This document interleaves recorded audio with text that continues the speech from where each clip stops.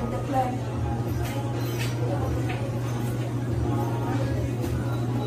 Gusto na magbagastos ko sa iyong minahal, sa iyong anak.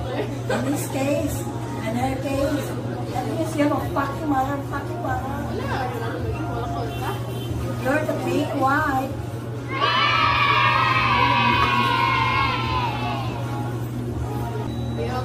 Pwede kaya po si Kote na kung gusto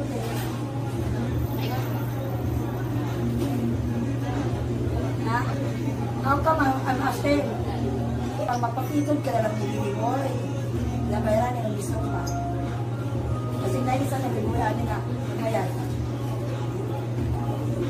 Habang nag-aaral ka, mapapitod ka.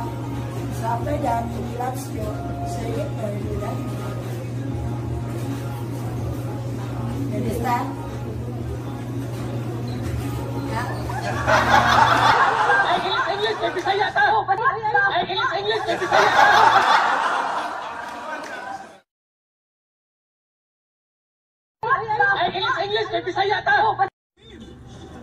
Cukup dekat dengan English yang kita. Oh, I English you. Are you angry? Shampoo.